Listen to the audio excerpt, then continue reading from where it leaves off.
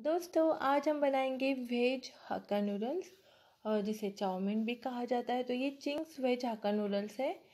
ये कुछ इस तरीके से पैक आता है, और ये थर्टी रुपीज़ में आएगा। मैं ये दो ले रही हूँ। सबसे पहले आपको क्या करना है? गर्म पानी करना है। उसमें थोड़ा सा ऑयल डाल देना है, और फिर ये जो नूडल्स है, इनको इसमें कुक करके लेना है। ज़्यादा ओवर कुक नहीं करना है। तो इस तरीके से आप इसे तोड़कर आप ये गर्म पानी में डाल सकते हैं। और ये नूडल्स ना बहुत ही बढ़िया बनते हैं। बहुत इजी है बनाना। बस सबसे पहले ये जो नूडल्स जो कुक करना होता है ना, वो सही से आपको आ जाए ना तो नूडल्स बनाना बहुत ही आसान है। बहुत ज़्यादा ओवर कुक ना कीजिए, फिर वो बहुत ज़्यादा टेस्ट में अलग लगता है। इसलिए यहाँ पर देखिए जो नूडल्स हैं हमारे, वो अच्छे से बन के तैयार हो चुके हैं मतलब कुक हो चुके हैं। हमने इसे बिल्कुल भी ज़्यादा ओवर कुक नहीं किया है।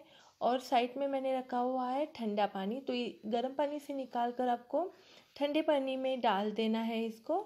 और ठंडे पानी में डालने के बाद आपको इसे किसी भी स्टेनर में या फिर किसी भी मतलब जिसमें आप सारा पानी निकाल सको उसमें डाल दीजिए।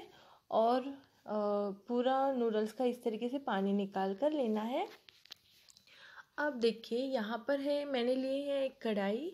उसमें लिया है थोड़ा सा ऑयल ऑयल गर्म होते ही डाला है बारीक कटा हुआ गार्लिक यानी लहसुन। और ये इसमें जिंजर गार्लिक भी पड़ता है। जिंजर हमें इतना अच्छा नहीं लगता, इसमें तो हमने नहीं डाला है। आप डाल सकते हो, फिर हमने डाला है प्याज कैरेट यानी गाजर, शिमला मिर्च। और ये हरी मिर्च जो पकौड़े में यूज़ की जाती है, वो वाली हरी मिर्च है। फिर पत्ता गोभी, फूल गोभी, ये सारी चीज़ें इसमें डाल देनी है। आप इसमें मशरूम भी डाल सकते हो। अगर आपको चिकन नूडल्स बनाने तो आप इसमें चिकन भी डाल सकते हो बॉईल करके। तो ये सारी चीज़ों के बाद हम इसमें डालेंगे सॉस। तो मैंने पहले डाला रेड चिली सॉस, फिर मैं ये ले रही हूँ ग्रीन चिली सॉस, और फिर आपको लेना है डार्क सोया सॉस। ये सारी चीज़ों को आपको इसमें डालने के बाद ना इसे अच्छे से सौटे कर लेना है। हाई फ्लेम पे करना है और चाइन मतलब ये जो नूडल्स वगैरह जो है वो हाई फ्लेम पे ही बनते हैं अच्छे से।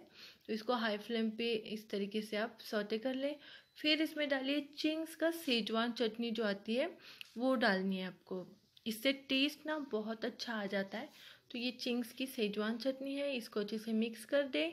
फिर जो हमने नूडल्स बना कर लिए वो डाल देंगे, इसको अच्छे से मिक्स कर दीजिए। तैयार है आपके वेज हाका नूडल्स बहुत आसान तरीके से बनते हैं और टेस्ट में तो बहुत बढ़िया बनते हैं। तो इसको थोड़ा सा मिक्स करना आपको मुश्किल लगेगा, लेकिन हो जाता है। तो यहाँ पर देखिए, तैयार है हमारे वेज हक्का नूडल्स ज़रूर ट्राई कीजिए इस रेसिपी को। और आपको ऐसी अच्छी अच्छी रेसिपीज़ देखनी है तो चैनल को सब्सक्राइब करना ना भूलिए। और आज की वीडियो के लिए मतलब ये आज की